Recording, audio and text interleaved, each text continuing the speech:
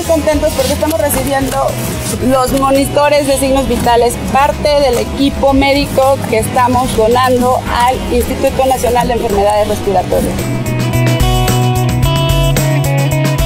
Ya casi estamos juntando todo para poder entregar.